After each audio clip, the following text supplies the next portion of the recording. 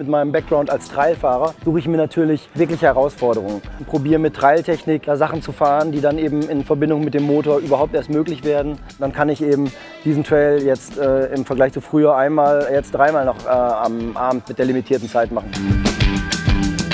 Ich will nur neue Sachen kennenlernen, jeden Tag was Neues lernen und da bietet das E-Bike gerade viele Möglichkeiten.